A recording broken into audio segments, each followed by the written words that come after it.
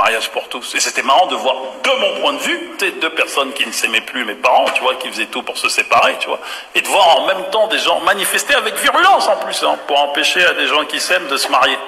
C'est soi-disant parce qu'ils sont homo, mais qu'est-ce que t'en as à foutre?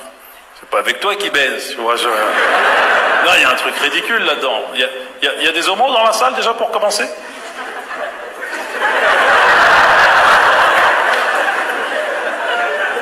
N'y a pas un homo là dans la salle. Come on.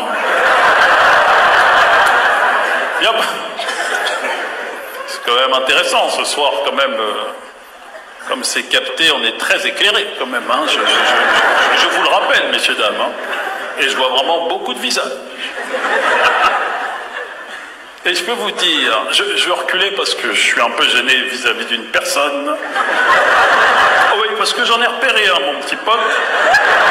Et je vais regarder là-haut, oui. Parce que je te vois là, me regarder avec tes petits yeux tout doux là, depuis le début du spectacle. Et tu sais que je sais que tu sais que je sais, d'accord?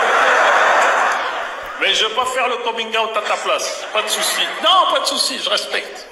Mais moi, c'est un sujet qui me touche, hein, vraiment, c'est un sujet qui me touche. Déjà, je suis concerné à plein de niveaux. Déjà, géographiquement, pour commencer, que j'habite dans, le quartier de Bastille, tu vois, c'est le quartier, en fait, où démarre la Gay Pride. Il y en a qui ont peut-être fait la Gay Pride dans la salle Ouais, il y en a. C'est sympa quand même, franchement, il y a une bonne ambiance, je vais pas mentir. Moi, je la fais chaque année, hein, je la fais. Enfin, non, non, non, non, non, non, non, non, je change pas mes habitudes. Je, je- vais toujours acheter ma petite baguette le matin, et quand il y a la Gay Pride, franchement, je reste toujours un peu, parce qu'il y a du bon son, des bons DJ.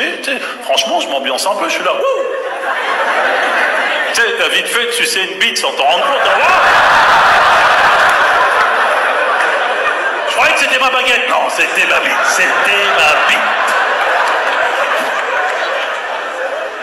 Non, non, mais il faut se réjouir d'avoir une Gay Pride en France. hein. C'est pas dans tous les pays au monde où il y a des Gay Pride. Je vous le dis tout de suite, à commencer par mon pays d'origine, au Cameroun. Laisse tomber, là-bas, c'est le Moyen-Âge, mon ami. Le mec, il va aller voir le préfet. Oui, j'aimerais avoir une autorisation pour la Gay Pride. La Gay quoi? La Gay Pride. Hein? Fermez les portes, fermez les portes. Non, c'est juste pour sensibiliser la population. Sensibiliser la population à quoi? À devenir des pédales.